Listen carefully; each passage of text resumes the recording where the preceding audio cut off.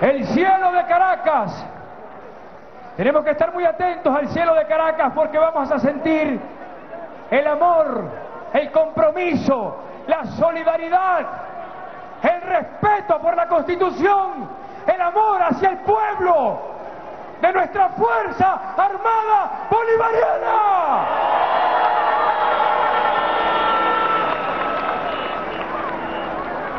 De la tierra guaraní, llena de fe y esperanza, no podía dejar de estar presente aquí hoy.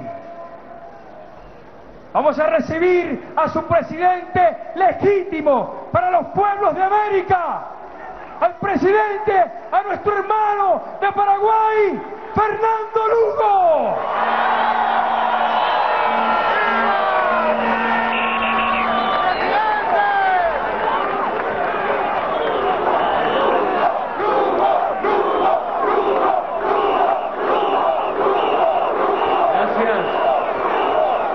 Muchas gracias.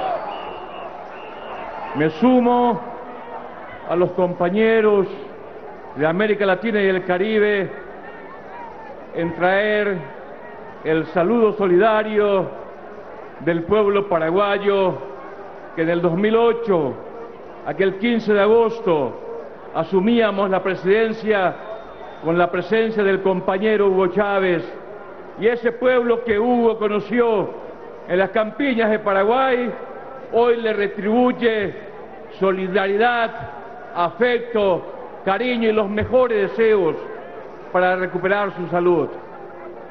Estaba pensando qué decir a esta gente y quiero, si me permiten, dirigirme hoy al compañero, al hermano, al amigo, a Hugo, que estarás allí pendiente de lo que pasa en tu querida Venezuela. Estoy seguro que el compañero Hugo ha sido el que más ha deseado estar hoy aquí presente en este local y en este sitio. Pero ¿quién dice que él está ausente? Ahí lo veo a él. En las mujeres, en los jóvenes, en los campesinos, y veo tantos carteles que dice yo soy Chávez. Hoy estamos aquí.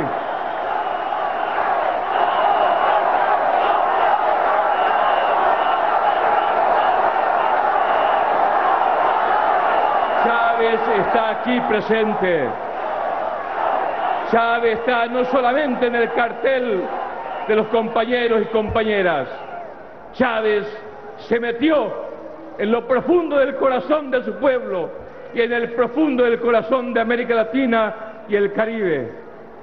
Discúlpenme si les digo, Chávez ya no es patrimonio solamente de Venezuela.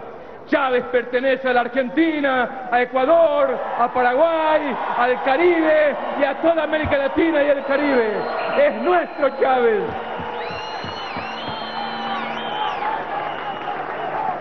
Finalmente, finalmente, le quiero decir, le quiero decir al compañero Hugo que la revolución bolivariana no tiene retroceso y que la revolución bolivariana está en buenas manos porque está en manos del pueblo venezolano que hoy responde y garantiza los cambios profundos de esta patria. ¡Viva Venezuela! ¡Viva Chávez! Gracias. El aplauso a Fernando Lugo del pueblo de Paraguay.